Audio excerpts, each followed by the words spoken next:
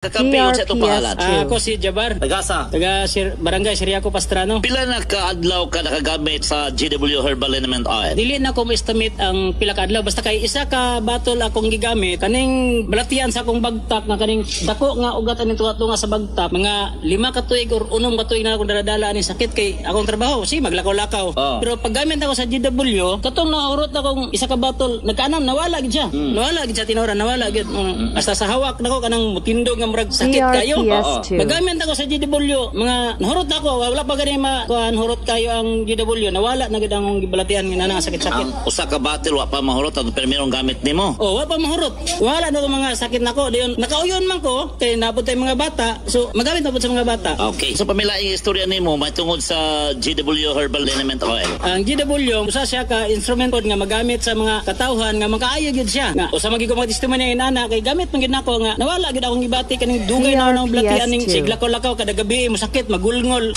Sa gigamit ang GW nawala gid akong balatian. Okay, salamat kayo Jabar kakampi. Kini atong paghimo nato ron og testimony gibarian makana nini o wala. Ah, wala. Bisan pa piso, wala. Gyud. Ako ganang kabubuton ni niya nga maka-testimony ko karong makatabang po ko sa uban. Salamat kayo kakamping Jabar. Ah, si Wise Sabayan, salamat po sa GW Liniment Oil. Ang tatak JW Herbal Liniment Oil mapalit sa iyong suking tindahan ug mga parmasya.